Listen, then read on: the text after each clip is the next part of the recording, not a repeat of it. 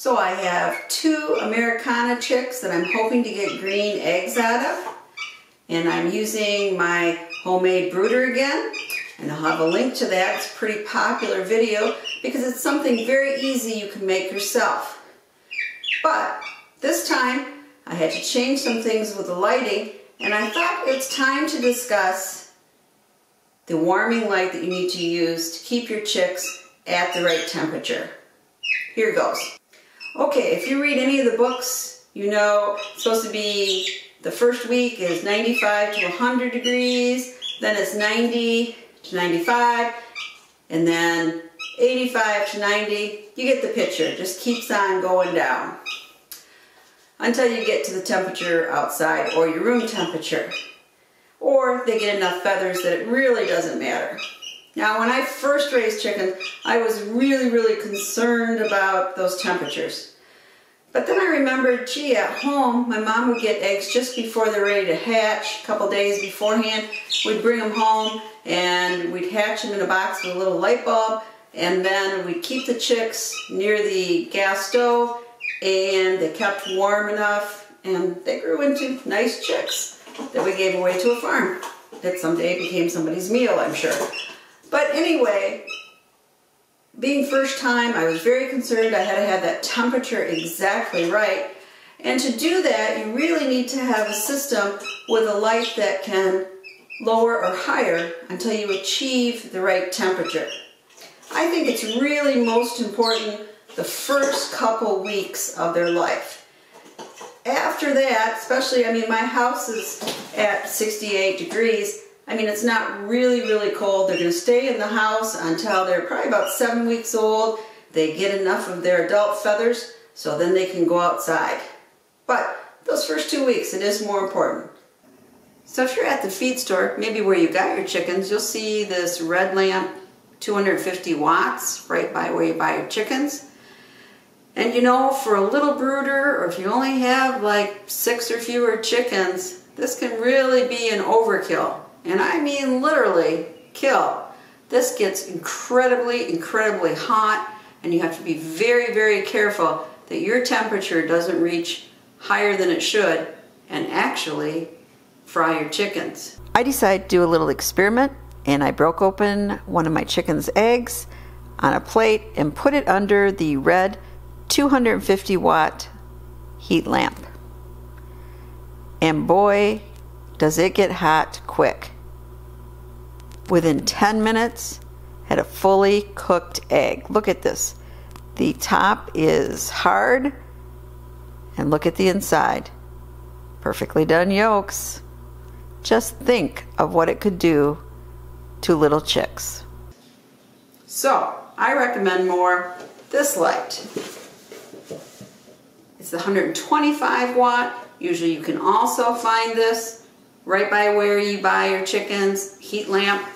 This works well for me um, as long as I keep on hiring it as I need to to change the temperature.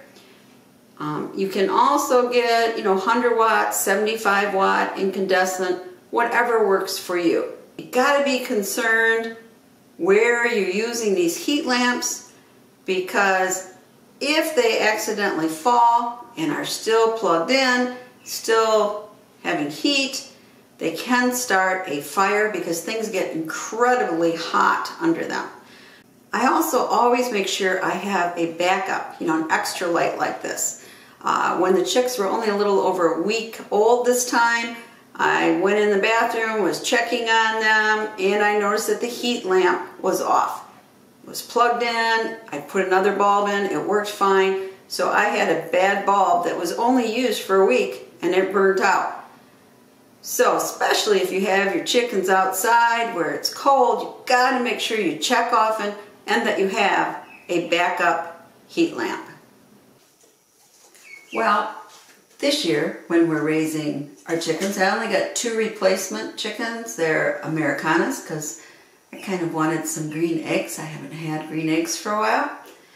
And we have remodeled our bathroom. The Whirlpool tub is a lot smaller.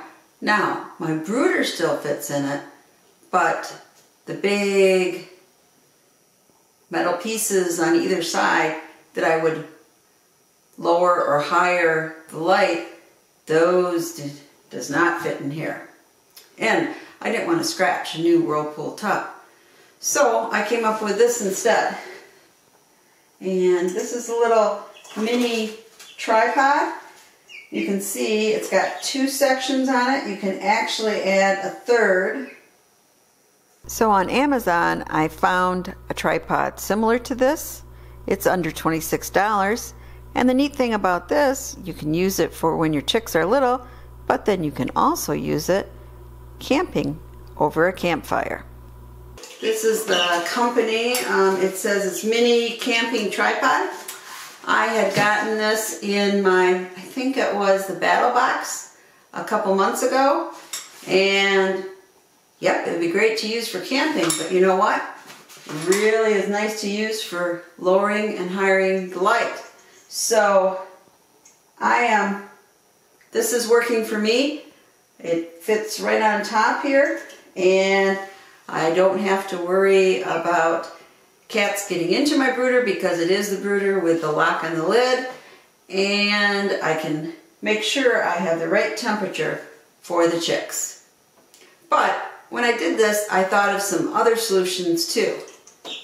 Here goes. Here I attach the heat lamp to my camera tripod and I think this would work really well especially if you wanted to have the tripod go over your little brooder like my own do-it-yourself brooder.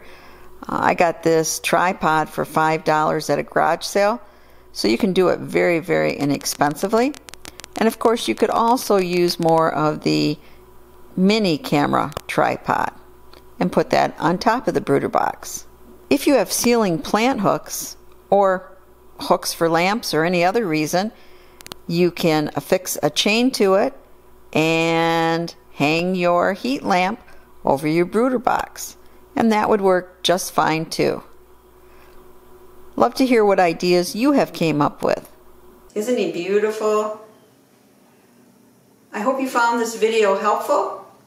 And remember, I know you panic when you're a first time mother hen, but it really is easier than it looks and just make sure that you provide heat when it's needed at the right height and you will do fine. Isn't that right? This is Prepper Potpourri saying please subscribe, share the knowledge, and as always, thank you so much for subscribing.